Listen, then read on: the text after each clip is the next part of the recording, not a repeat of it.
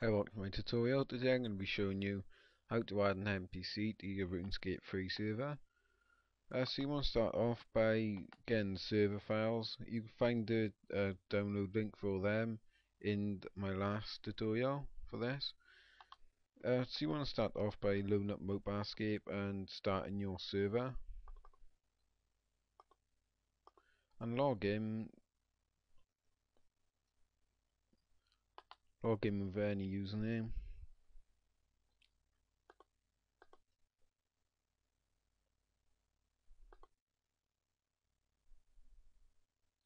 And find the place you want to put your NPC so I want to say I want to put an NPC right here. So someone a guard by here.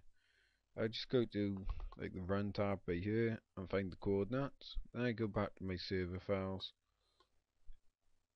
and I find auto spawn which is a CFG file. I open that up.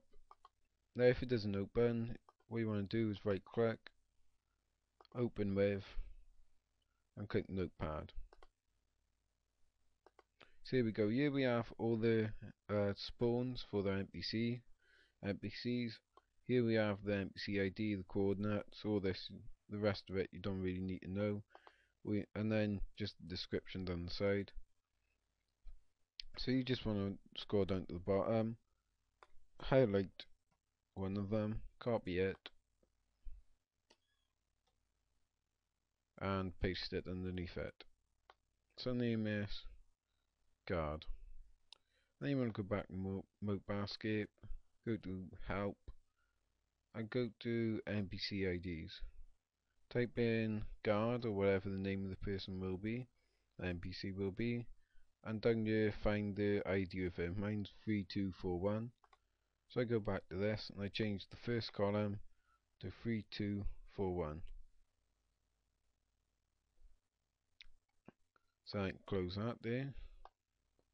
And then you want to insert the coordinates.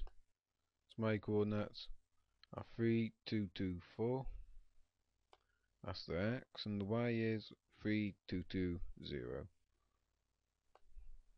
Just want to leave this by here as it is. I'll change the description to guard Lumbridge like that so I know what it is. Go file save shut down your server and run the compile script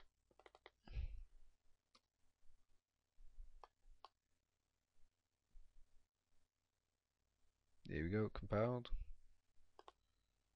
Run your server again. Log back in.